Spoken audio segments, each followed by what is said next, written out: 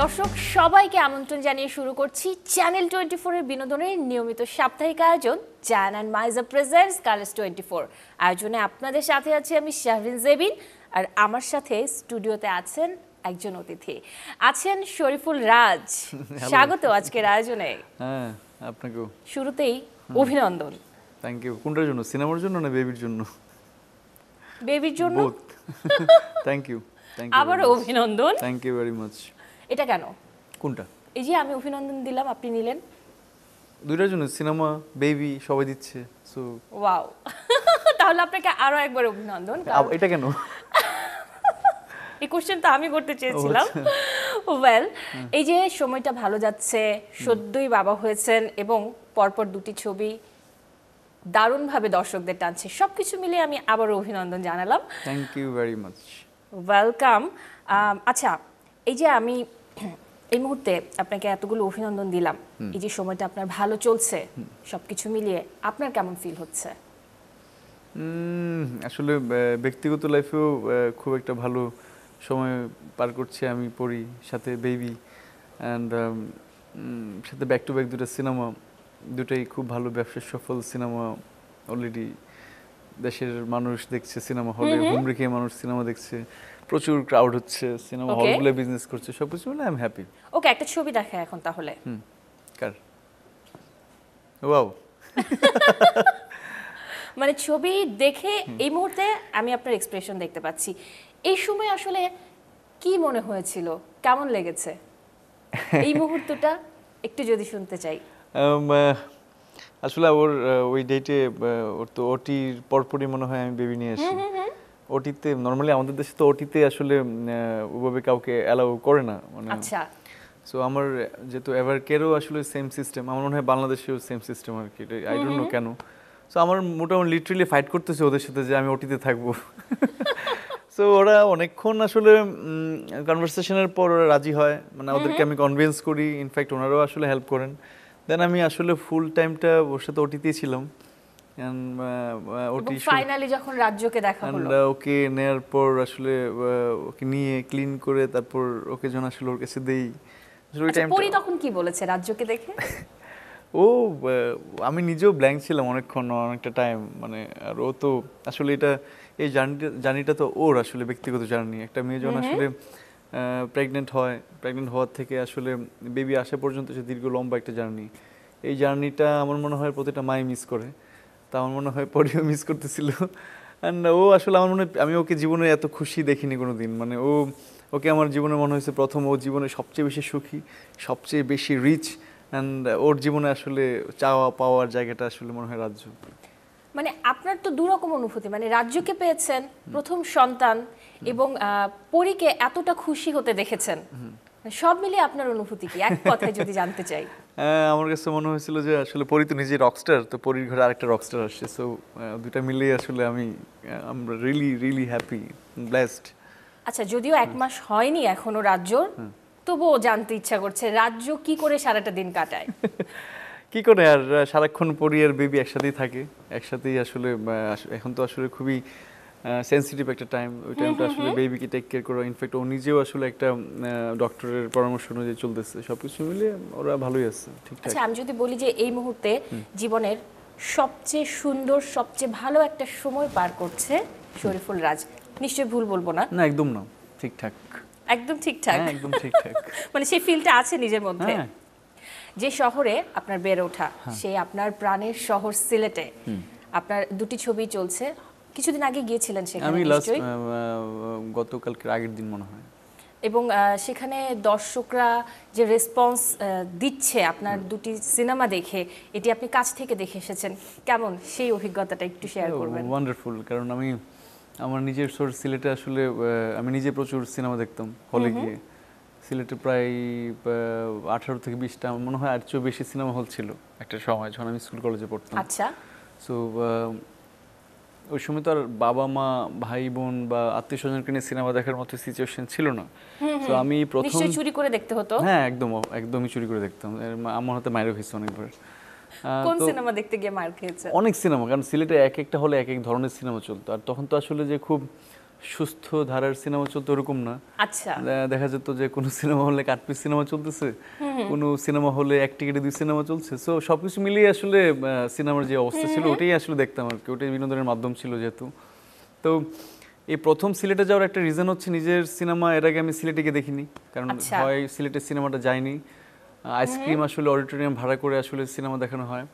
তো এই প্রথম আসলে যখন শুনি আসলে একটা হোটেল অ্যান্ড রিসোর্টে আসলে মুভি থিয়েটার করা হয়েছে। তখন আসলে আমি ইন্টারেস্টেড হই। মানে আমি রাফিকে তখন মানে অল অফ সাডেন প্ল্যান করি চলো সিলেট যাই সিলেটে গিয়ে দেখি কী হয়।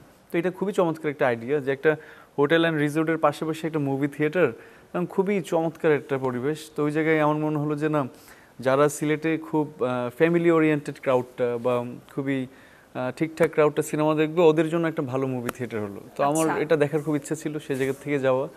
গিয়ে তো আসলে আসলে যেটা ভাবছিলাম আমি সেটাই হলো। আসলে ঠিকঠাক একটা আসলে সকল পেশাজীবীর মানুষ তো আসলে সব জায়গায় যায় না। কিছু মানুষ আসলে সিলেক্টিভ একটা জায়গায় যায় সুন্দর পরিবেশ পায় ভালো একটা ট্রিট হয় ওদের সুন্দর করে সিনেমা দেখে আসবে। তো ওইটার জন্য আমার মনে হয় জায়গাটা পারফেক্ট পারফেক্ট ছিল। তো ওই জায়গা থেকে আই এম হ্যাপি যে আমার ফ্যামিলির কিছু মানুষ রাফির ফ্যামিলির কিছু মানুষ সাথে আরও কিছু অডিয়েন্স ছিল। সবকিছু মিলে আই সবকিছু এনজয় মিলিয়ে বেশ ভালো অভিজ্ঞতা হয়েছে। পরাণ দেখার পর সবচেয়ে সুন্দর অনেক কমেন্টস পেয়েছেন নিশ্চয়ই। পরাণ পরাণ সিনেমার অনেক রেসপন্স দর্শকদের পাওয়া গিয়েছে। তো সবচেয়ে ভালো কমেন্টস কোনটা পেয়েছেন আপনি? আপনার মাথায় রয়েছে মন ছুঁয়ে গিয়েছে। অনেক অনেক অনেকগুলো কমেন্টস পেয়েছি আমি। মানে এটা আলাদা করে আসলে ওরকম মনে নেই। বাট আমার মনে আছে এখনও যে একটা ছেলে আমাকে সিনেমা এটা লায়ন্স সিনেমা হলে একটা ছেলে সিনেমা দেখার পর আসলে অনেকক্ষণ ধরে কান্নাকাটি করে জড়াই ধরছে। লাইক মানে ও আমি জানি না কেন। দেন মানে সে আপনার আপনার চলে যাওয়া মেনে নিতে পারেনি সিনেমায় আফটার ফোরটি ইয়ার্স পর একটা মানুষ তার ফ্যামিলি নিয়ে সিনেমা দেখতে আসছে। উনি যখন আসলে আমাকে বলল যে আমরা আসলে অনেক দিন পরে বাংলা সিনেমা দেখতে আসছি এই হচ্ছে আমার ফ্যামিলি এটা আসলে আমাকে খুব আমার খুব ভালো লাগছে। আমি ইনফ্যাক্ট সিলেটে যখন যাই সিলেটে একজন সিনেমা দেখতে আসছেন উনি একুশে একুশে পদক প্রাপ্ত প্লাস হচ্ছে রোকেয়া পদক প্রাপ্ত একজন খুবই আচ্ছা। এইজড একজন মানে আমি খুবই অবাক হলাম যে আসলে এত এইজড পিপল আসলে সিনেমা দেখতে আসতেছে। মানে এটা এটা আমাদের সিনেমা ইন্ডাস্ট্রির জন্য অনেক বড় একটা আশীর্বাদ যে শুধু এটা পরাণ বা হাওয়া দিয়ে না। মানে আমার মনে হয় এরপর যাদেরই সিনেমা আসবে একটা ভালো ক্রাউড হলো সিনেমাতে ভালো সিনেমা হলে ঠিকঠাক সবাই সিনেমা মানে দীর্ঘদিন পর আসলে বাংলা সিনেমায় এমন দর্শক সাড়া পাওয়া গিয়েছে এমন ক্রাউড ক্রিয়েট হয়েছে। নিঃসন্দেহে আপনি পরম ছবিতে অনেক ভালো অভিনয় করেছেন দুর্দান্ত অভিনয় করেছেন। তারপরেও কেউ কি বলেছে যে এই জায়গাটা আরেকটু ভালো করা যেত বা এই বিষয়টা না হলেও হতো? এমন কোনো কথা কি কেউ বলেছে? না আলোচনা সমালোচনা তো থাকবেই। মানে আমার মনে হয় হ্যাঁ কিছু জায়গা আমার অ্যাক্টিং করে আসার পরে আমি তো ওইটা তো থাকেই মন খুঁতে খুঁতে স্বভাব। যে আসলে এটা মনে হয় নাই। ওই সিনটা মনে আরেকটু ভালো করা যেত। ওই সিনটাতে আসলে এভাবে না করে ওভাবে করা যেত। তো এইগুলো থাকেই। এগুলো ছিল। বাট তারপরেও দিন শেষে আমি যেটা করে আসছি এটা নিয়ে আমরা রিগ্রেট নেই আই এম হ্যাপি অ্যান্ড দিন শেষে এটা মানুষ পছন্দ করতেছে এটাই বড় বিষয়। আচ্ছা আমি শুনেছি রাজ যেমন ভালো অভিনয় করে ভালো গানও গাইতে পারে। কথাটা কতখানি সত্যি? একদম ভুল মানে একদম মানে আমি ভুল শুনেছি কিছুটা হলো তো সত্যি। যা আমি একদম বাথরুম যা রটে তা কিছুটা। আমি একদমই বাথরুম সিঙ্গার আচ্ছা একটু শুনি না দু লাইন। মানে গান? যে কোনো গান দু লাইন। হাওয়ার গানই গাই। তুমি বন্ধু কালা পাখি আমি যেন কি বসন্তকালে তোমায় বলতে পারিনি। শেষ। দারুণ বসন্তকালে আসলেই কি বলতে পারা হয়নি? এটা জানি না তো এটা তো গানের কথা। গানের কথা তো আর আমি জানি না বলা হয়েছে কি হয়নি। আচ্ছা এর মধ্যে যদি আপনার পছন্দের একটা গান শুনতে চাই তবে কি সেটা এই গানটাই হবে? এই গানটা হলে খুব ভালো হয়। আচ্ছা তাহলে আমি এই গানটা শোনাবো। গানটা রেডি হতে থাকুক। তার আগে একটু রাজ্যকে নিয়ে কথা বলি। ওকে। মানে রাজ্যের কোন বিষয়টা বেশি ভালো লাগে এখন? মাত্র তো এলো। হ্যাঁ মা- ও তো এখন স্টিল খুব নিউবর্ন বেবি বাট আমার মনে হয় he is a very curious guy মানে ওর তাকানো ওর মুভমেন্ট সব কিছু মিলে আচ্ছা ও যখন কান্নাকাটি করে শান্ত করা হয় কীভাবে? এটা পরি করে পরিটা ভালো করতে পারে আর আমার মনে হয় একটা বেবির জন্য মা খুব ইম্পর্ট্যান্ট আর পরি আসলে ওর বেবিকে সর্বোচ্চ টাইমটা দেয় আচ্ছা। কেয়ারিংটা করে আর মানে আমার মনে হয় ওর জীবনে সবটাই এখন রাজ্য।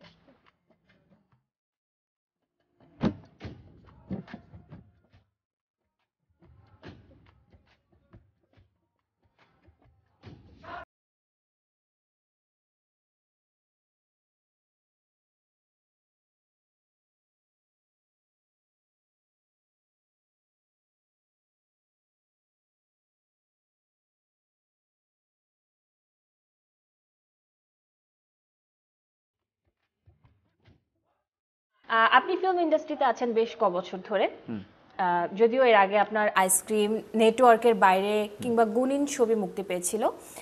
কিন্তু এই ছবিগুলোতে সেভাবে রাজের আইডেন্টিটিটা হয়তো বা তৈরি হয়নি বা পাওয়া যায়নি। কোনোভাবে রাজকে পরিচয় করা হতো বা করানো হতো শরীফুল রাজ মানে একজন নায়ক অভিনেতা বাদ দিয়ে পরিমণির হাজবেন্ড হিসেবে।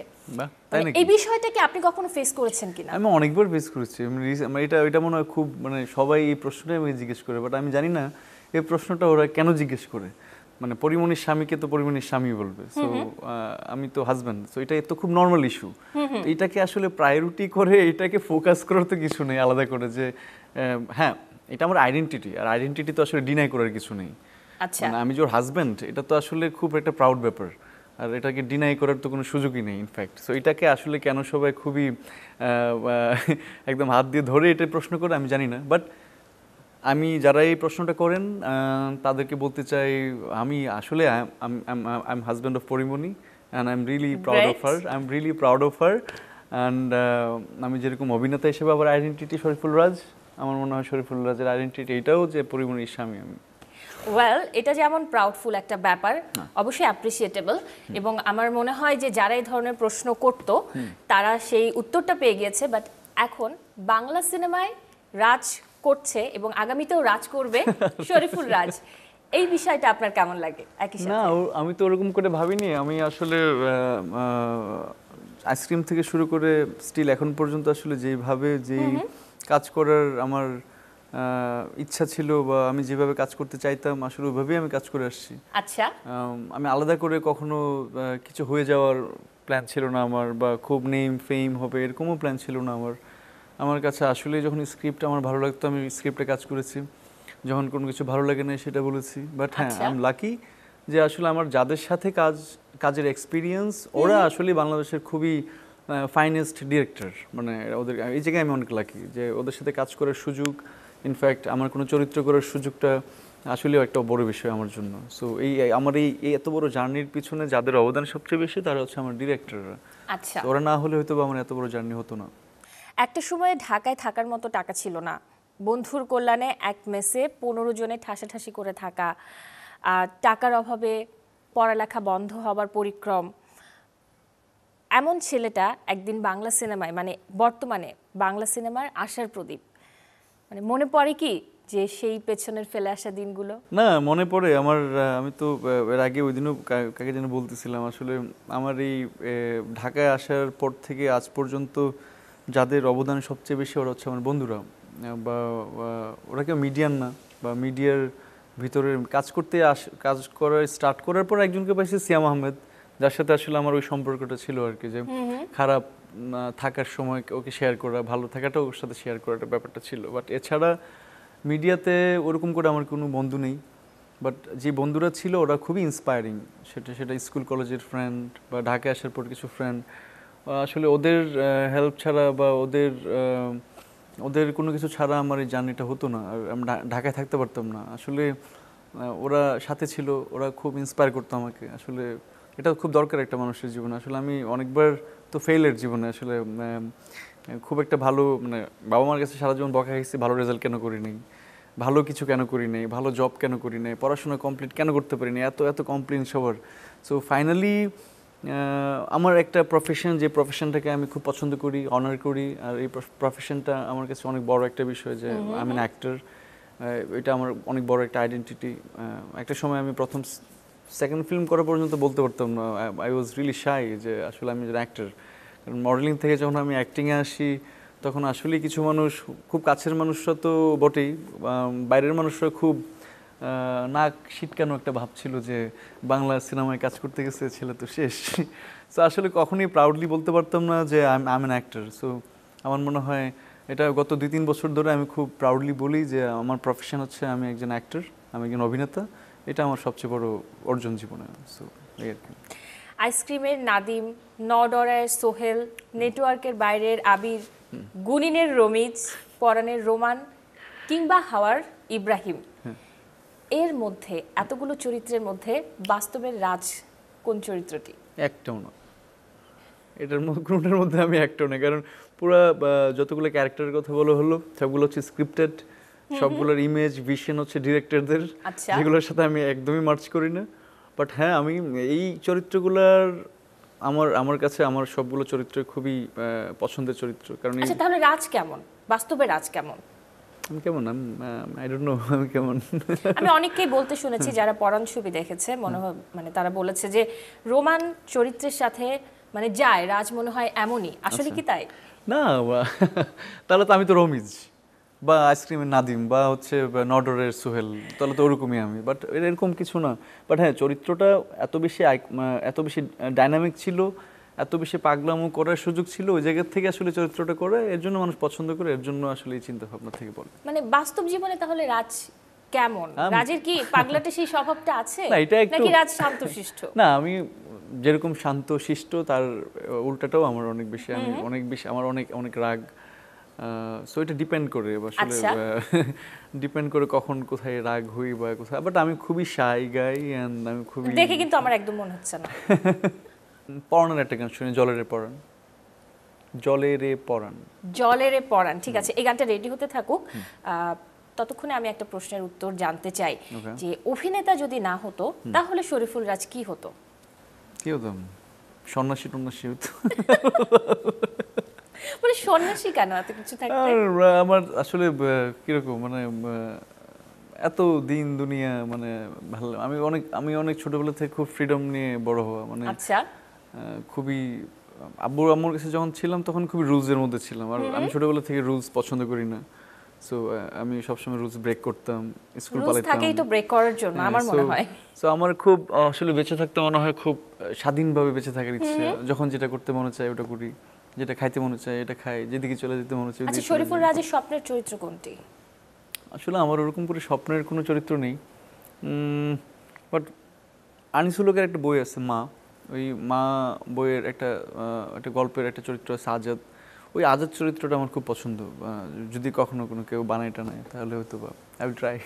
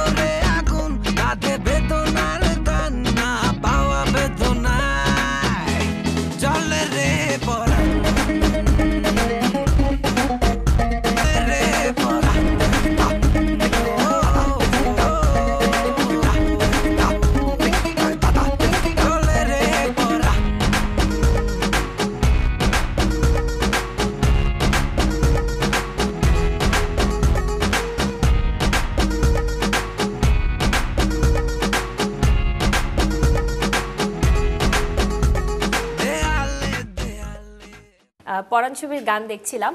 এবার একটু আপকামিং মুভি নিয়ে কথা বলব দামাল ছবি নিয়ে। ট্রেলার মুক্তির পর কেমন রেসপন্স পেলেন? অনেক অনেক মানে হিউজ আমার মনে হয় এটা এটা আমার মনে হয় পরান থাকতে থাকতে আবার দামাল সিনেমা হলে আসবে। এটা এটা আজও হবে। ওয়েল তাহলে এই ট্রেলারের কিছু অংশ দেখে আসি কেমন হয়? প্লিজ একটা দেশ একটা যুদ্ধ। একটা পতাকা। এক এক করে অনেকে মিলে এক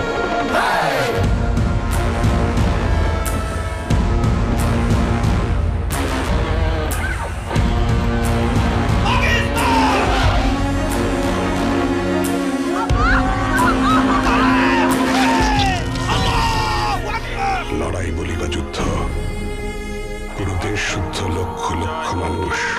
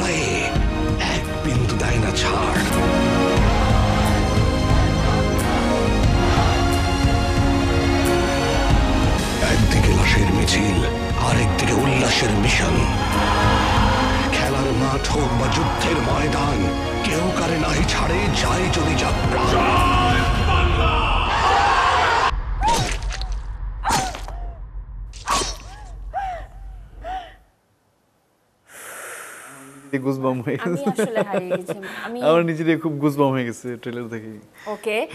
মানে আমি একটু অভিজ্ঞতা জানতে চাই শুটিং এর। আসলে দেশের জন্য কোনো কাজ করার একটা অনেক বড় গর্বের ব্যাপার। আমার মনে হয় দামাল সিনেমাটা ছিল পুরোটা দেশকে কেন্দ্র করে দেশের জন্য খেলা। আর আমার চরিত্রটা ছিল স্বাধীন বাংলা ফুটবল দলের ক্যাপ্টেন মুন্না। সুন্দর একটা গল্প বলছে রাফি সাথে হচ্ছে দেশ। মুক্তিযুদ্ধ ট্রেলারেই তো চোখ আটকে গেল। সো সিনেমা মনে হচ্ছে যে দারুণ হবে দুর্দান্ত হবে। এই যে একটা ব্যাক কিকের কিক দেখলাম। হ্যাঁ বাইসাইকেল কিক বাইসাইকেল কিক। মানে এটা কয়টাকে দেওয়া হয়েছিল? না এটা কয়টা প্র্যাকটিস ছিল? হ্যাঁ প্র্যাকটিস ছিল। আমি প্রায় চোদ্দ থেকে পনেরো দিন প্র্যাকটিস করি এই শটটার জন্য। রাফি যখন বলে আসলে আমরা একটা বাইসাইকেল শট দিতে চাই রাজ। আচ্ছা। তো আমি নিজেও আসলে এটা এরকম ভাবিনি এরকম শট দেওয়ার সময় আসলে দেশের সিনেমা তো তো আসলে এনার্জি এমনি কাজ করে অনেক বেশি এনার্জাইজ ছিলাম আমি। তো আমি অনেক ট্রাই করি চোদ্দ পনেরো দিন বল নিয়ে আফতাবনগরের মাঠে ডেলি প্র্যাকটিস করতাম আমার টিম থাকতো আমার সাথে সব কিছু মিলিয়ে যখন শুটিংয়ে প্রথম নারকেল গাছের শটটা দিয়ে দেন আমি মনে করলাম যে না যে খেলার ম্যাচেও আসলে মানে এটা লেগেছিল? এটা আমার এন্ড থেকে কোনো টাইম লাগেনি বাট টাইম লাগছে হচ্ছে বলের সাথে শর্টের টাইমিংটা বেসিক্যালি সিকোয়েন্স মিলেতে। হ্যাঁ হ্যাঁ সো ওই জায়গা থেকে আমি খুব প্রিপেয়ার ছিলাম শটটার জন্য এন্ড ফাইনালি এটা মানে খুব ফুটবল। খেলায় কি আগে থেকেই পারদর্শী ছিলেন?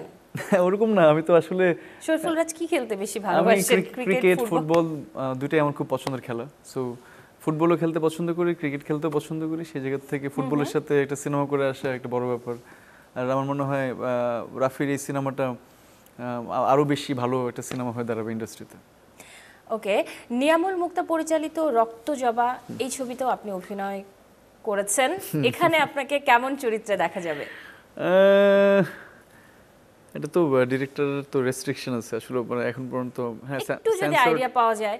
যতটা দেখলাম যে পরাণ হাওয়া দামাল প্রতিটা ছবিতেই আপনার এই ক্যারেক্টারের চেঞ্জ ভিন্ন ভিন্ন ধারার। রক্ত জবাতে কি?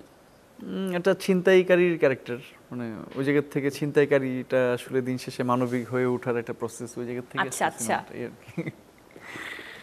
সব মিলিয়ে আসলে আজকের আয়োজনের একেবারে শেষ পর্যায়ে চলে এসেছি। আম, আমার আসলে আড্ডাটা শেষ করতে ইচ্ছা করছে না কিন্তু ঘড়ির কাটা বলছে। সময় শেষ এখন বাড়ি ফিরে যেতে হবে। অনেক অনেক ধন্যবাদ আপনাকে আজকে এই আয়োজনে আসার জন্য। অনেক অনেক শুভকামনা রইল। অবশ্যই রাজ্যের জন্য শুভকামনা রইল। সাথে আপনার আপকামিং ছবিগুলোর জন্য অনেক অনেক শুভকামনা। শেষ করছি আজকের আয়োজন। দর্শক এই ছিল Zayan and Maiza presents carless twenty ফোরের আজকের আয়োজনে। আসছে সপ্তাহের ঠিক একই সময়ে নতুন কোনো অতিথিকে সাথে নিয়ে আবারও হাজির হব আমি। সেই পর্যন্ত সবাই ভালো থাকুন সুস্থ থাকুন চ্যানেল টোয়েন্টি ফোরের সাথেই থাকুন।